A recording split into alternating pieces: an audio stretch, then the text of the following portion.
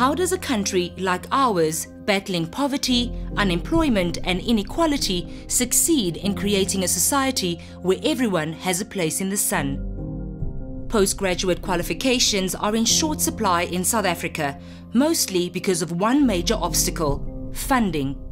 Listen to what Marlies de Lange, Director of Student Finances, has to say.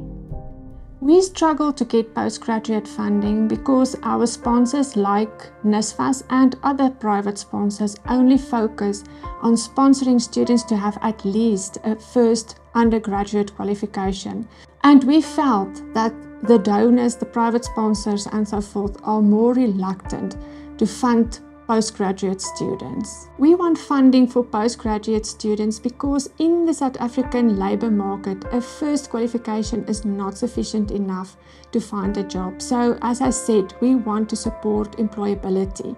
So, at least we want to support a student to have an honours qualification and then to further their studies to master's and doctoral students. Finding this funding is a matter of urgency. At the end of 2022, about 8,000 NWU students will be graduating with their first degrees. Many of them are poor students.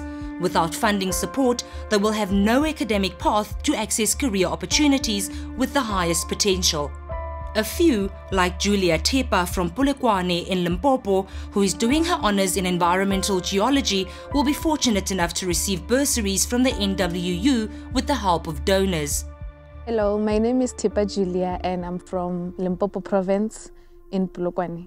I lost my mom immediately after my matric 2017. I did my matric in 2016 and I lost my mom 2017 January and it was so difficult for me. I even took a gap year that year because of like uh, I had to stay at home and take care of my younger brother. I started with a BSc with zoology and geography. I just did that for only first semester. And then after that, I changed to geology and geography in 2018 and then uh, graduated in 2021. After I graduated, uh, my plan was to go to do my honors and I didn't know about the honors bursary. And January, I was so worried because of like I didn't get any funding. I applied for NRF, the HCL bursary, but uh, I didn't get them. So the only fund that I got was the honors bursary, which enabled me to register and paid for my uh, residence. Later on, at around June, I got uh, another bursary called the Intersol, which helped me a lot with my remaining or the outstanding fees. I don't know what I could have done without it, and I'm so grateful for, for the bursary.